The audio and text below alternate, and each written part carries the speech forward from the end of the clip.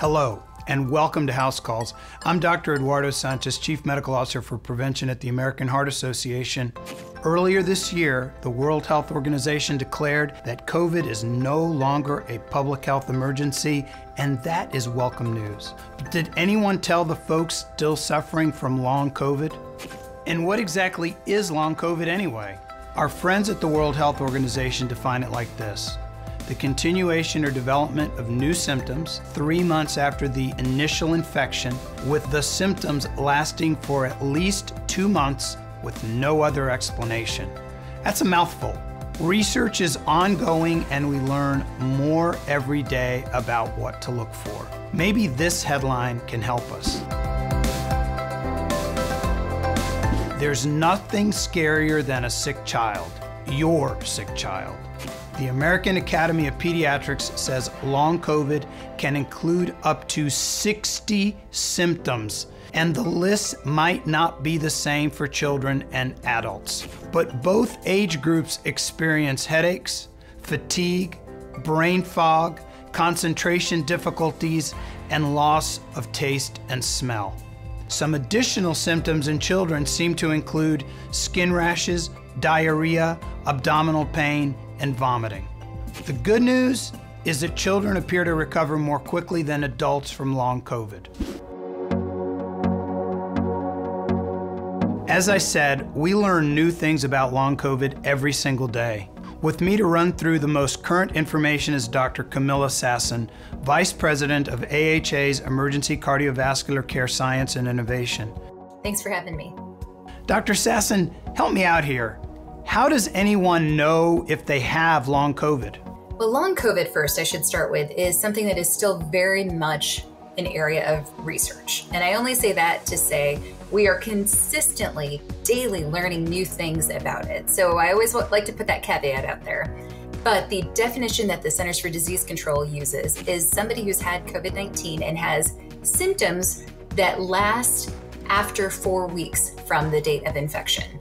And that again is hard because some people don't realize that they've had COVID 19. People don't know when their COVID 19 actually happened. And so it's been an area that's been very challenging, I think, especially for patients who have long COVID, because it's hard to know exactly when did I get it, how severe is it going to be, how long will it last. What are these symptoms that are happening right now? And most importantly, what can I do about it? I think these are all areas that we are still really trying to get a better understanding of. How long does long COVID last?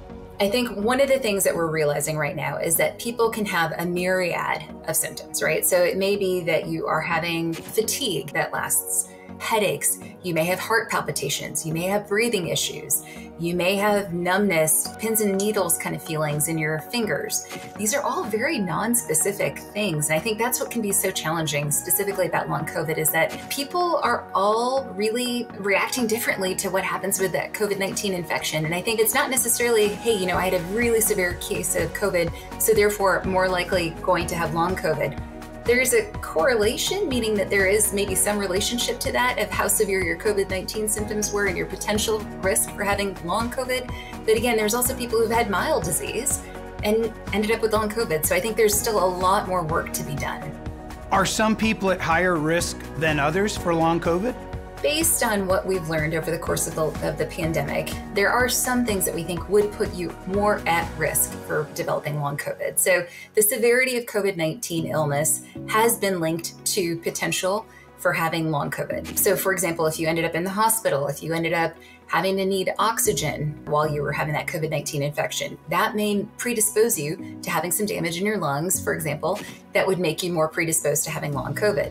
But we also know that people who have any kind of comorbid condition, so let's say you've got other chronic health issues like high blood pressure, diabetes, strokes in the past, peripheral vascular disease, those can also put you more at risk for having long COVID as well.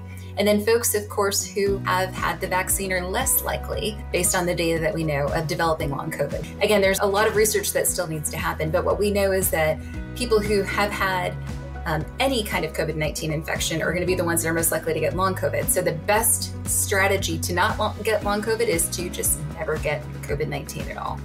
Do genetics seem to be involved in the manifestation of long COVID? That is a really important question and a big area for research right now. Again, I think what we're trying to do is get better at predicting who is more likely to get long COVID and, and knowing that the phenotype, so meaning the presentation of who gets long COVID, could be related to the genotype, which is really your genetics, your personal genetics, I think is something that we're still trying to, to learn from from the last few years of research. So big area of interest, I think a lot more to come. And I think we're going to hear a lot more as we have more people coming to their doctors and saying, you know, I, I have these vague symptoms. They've been lasting, you know, three months now. I don't understand why. I think we're going to end up having more people who are going to be diagnosed with long COVID, which then means we're having more research trials looking at, hey, look, what are these symptoms? How long are they lasting? Are there medications that can be helpful? Are there treatments that we can do? Are there people that are more predisposed? I think a big area of research to come. Is there any way to prevent long COVID? So, just like all of the other things that we always talk about, prevention is key. So, whatever you can do to prevent yourself from getting the COVID 19 infection is always going to be the most important strategy. The other thing we know is that the better you take care of yourself, so let's say if you do have high blood pressure, if you do have diabetes, if you do smoke, quitting smoking can put you in a place where your body is better to handle getting an infection like COVID 19. So I think the prevention side of this is probably the most important thing. And then for folks who know that they do have existing health conditions, just being very mindful that you are taking your medications, you're watching your diet, you're getting your physical activity. You know, we talk a lot about AHA's essential eight, and I think the more you can stick to those prevention strategies and really thinking about how to keep your body and your mind healthy, the less likely you are to get long COVID. So, is it okay to say that Life's Essential 8 plus COVID 19 vaccines up to date equals the prevention of long COVID? I think that is a very reasonable strategy. And I think that's one that a lot of us are trying to employ right now, right? Is take care of ourselves, do all the things that we know when the new vaccines come out. Make sure that you're getting not just your COVID 19 vaccine, but your flu vaccine, for example.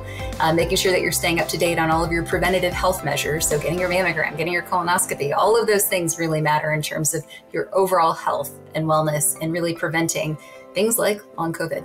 Dr. Sasson, thank you so very much for helping us better understand long COVID and some of the things that we can do to prevent its manifestation.